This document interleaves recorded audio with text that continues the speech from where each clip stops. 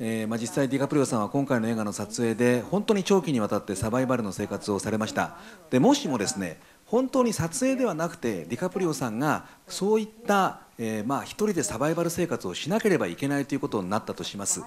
3つだけ、えー物を持ってってもいいというようなことが許されるとしたらば何を3つ選んで持っていかれるんでしょうか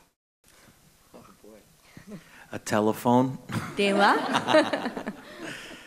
some sort of solar panel to be able to keep trying to call home, まあなんかソーラーパネルみたいなね要するに受信できるようにするための道具 and not run out of batteries. 要するに充電とかが切れないようにする装置ですね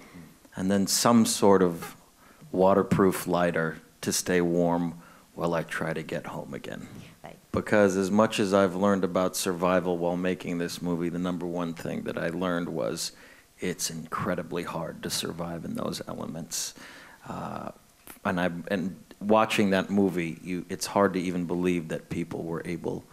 It says something about the perseverance of the of of mankind and our ability to adapt. But man, these men were as tough as they came,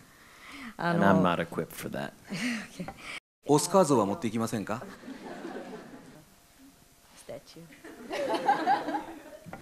I'd leave that at home. あれは家に置いときます